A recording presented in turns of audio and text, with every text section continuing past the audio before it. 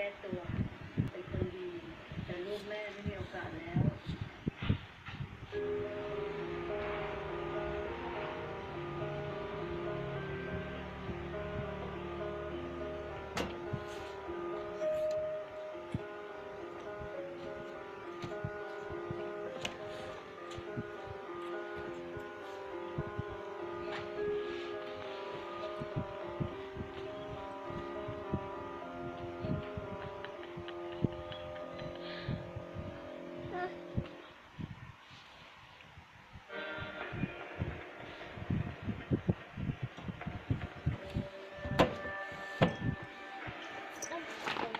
จับภาพผู้ที่ร่วมก่อเหตุได้ทั้งหมด 6 คน หลังเกิดเหตุ ทุกคนต่างหลบหนีไม่กลับเข้ามาเรียน หรือเข้ามอบตัว ขณะที่ตำรวจกดดันไปที่ครอบครัวและญาติของผู้ต้องหาทั้ง 6 คน